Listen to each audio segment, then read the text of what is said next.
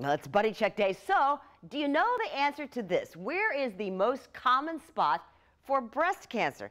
The answer in just a second. And yeah, that, kind of makes me feel weird seeing my, my chest up there across that big screen right there. But I volunteered for this because I am hoping that this saves somebody's life. Cheryl Hill lives in Callahan, and she is our brand new Buddy Check success story.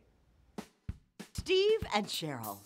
Hello. Been married 55 years, and here's the funny part. I never marry no sailor. Never. But then she met the sailor. You're not gonna believe this. Five days later, we were engaged. Are you kidding? Five days? So a team for years and years. They follow Buddy Check on our news. I've, I've watched you on TV God knows how many times.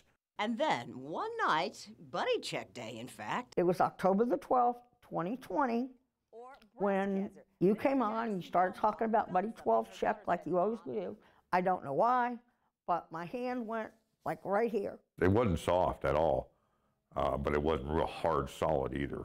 Turns out it was breast cancer, and notice where it was. This is her spot right here that she was feeling. Dr. Cynthia Anderson, a breast cancer expert at Baptist MD Anderson, tells me we can all learn from Cheryl. And people can forget this, but your breast actually goes up here, up to under your arm. And this part is actually the most common area um, for breast cancers to develop. So her advice, do that self-exam like Cheryl and check like this. And keep crawling across, but don't forget to turn the corner and go up. And her breast cancer early, stage one. So she's still got a cure rate that's over 90%. And to celebrate the end of her radiation, ringing the bell at Baptist MD Anderson.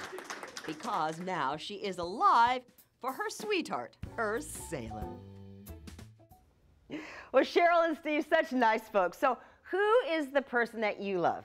My mom is my buddy. Mom, I know that you are watching right now because I called you earlier today and you were honest. You're like, I haven't done the self-exam yet. So please do because I really love you a whole bunch. And have you signed up yet for our Buddy Bus? We are on the road taking mammograms to you. How easy is that? Just go to baptistjax.com slash buddy and register your office or your group or your church for the Buddy Bus. It's our project with Baptist MD Anderson.